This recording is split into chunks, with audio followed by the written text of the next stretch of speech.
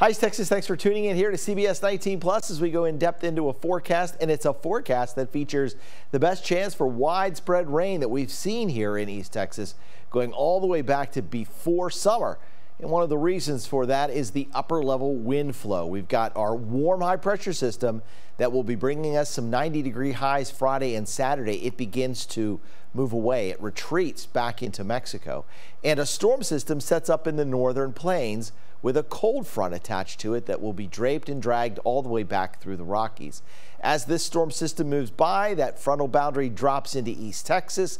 We've got a fair amount of moisture coming in from the Gulf of Mexico. That's fuel for rain and thunderstorms, and it all comes together for the rain starting at some point on Sunday, likely Sunday night and into the day Monday. And the reason for the heavy rain is the slow moving nature of that low pressure area.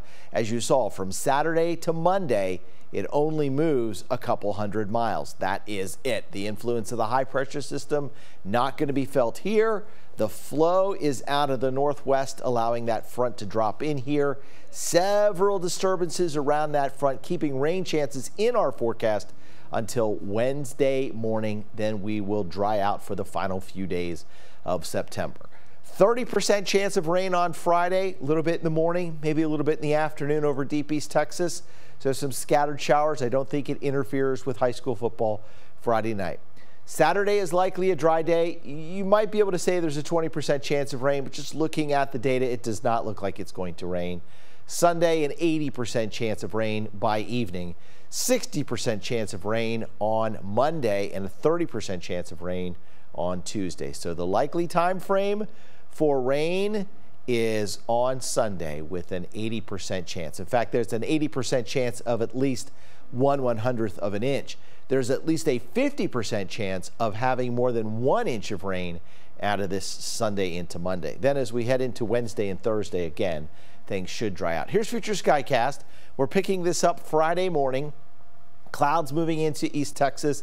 Scattered showers and thunderstorms from Springfield, Missouri through Tulsa back to Oklahoma City all the way back to Lawton. That little complex moves in. This is the reason that we have the rain for the first half of the day and then some scattered showers over deep East Texas later in the afternoon. Heading into Saturday, a lot of sunshine Saturday morning with temperatures warming into the mid 90s. Fall arrives Saturday at 1:49 a.m. So the first day of fall is going to feel like summer with those high temperatures in the mid 90s. Then Saturday night into Sunday morning, we'll watch that complex of thunderstorms drop in here. Could be some gusty winds on the leading edge of that, especially overnight into Sunday morning.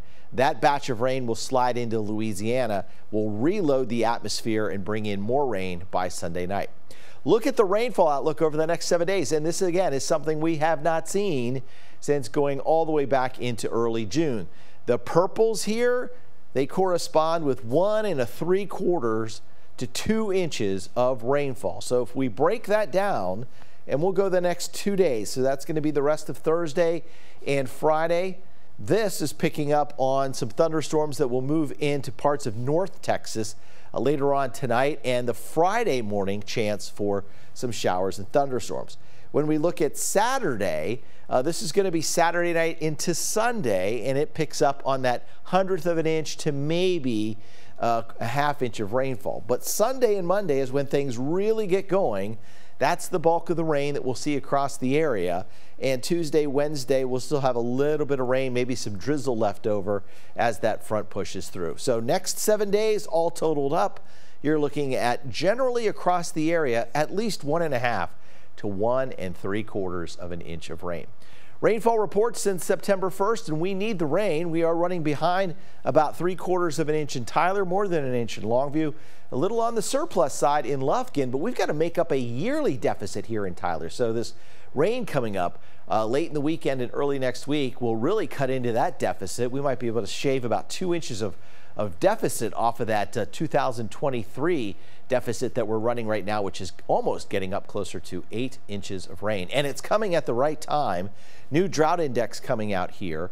This is going to be extreme to exceptional drought across East Texas with severe drought covering the rest of East Texas. So this definitely got worse since last week. This is last week. We had parts of the area in moderate drought and severe drought and most of it was in extreme drought with very little exceptional drought. But again, exceptional drought expanding northward, so this rain is coming at the right time. All right, looking ahead to Friday morning, mostly cloudy skies. Shower can't be ruled out. Will only drop to 71 in Camp County.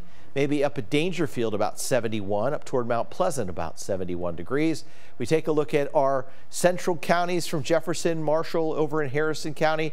Temperatures in the low 70s. Longview down to 73 under mostly cloudy skies. Mostly cloudy in Tyler, 76. Jacksonville, mostly cloudy, 74.